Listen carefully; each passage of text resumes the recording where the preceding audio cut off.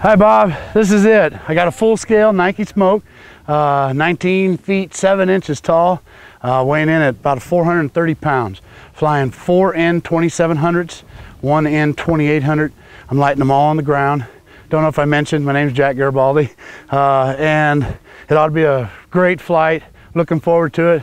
Uh, this is the biggest project I've ever done, so uh, I'm a little nervous. And uh, that's it. We got beautiful weather out here. I've had a lot of help, and I'm hoping all goes well. Good luck. All right, thanks.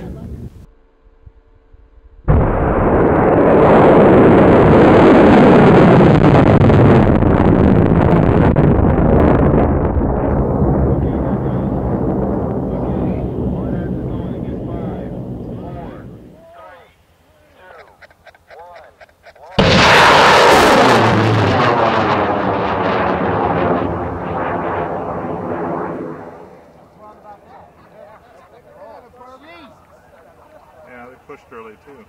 Did, did?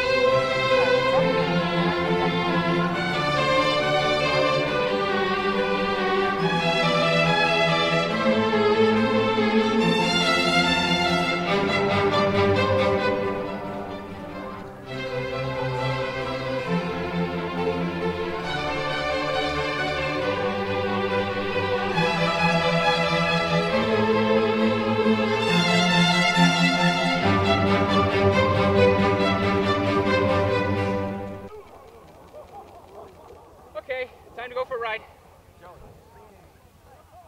That has to be a crater. Yeah. I'm heading out there. Bulkheads all over. Oh, did you?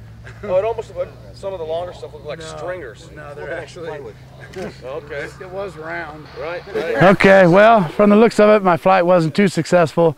The up part was good. Uh, just from a quick glance, I think one of the motors burned through, and once that happened, it burned everything inside, chutes, electronics, and everything. We got no recovery. Uh, basically, came in ballistic, and there is nothing salvageable about this.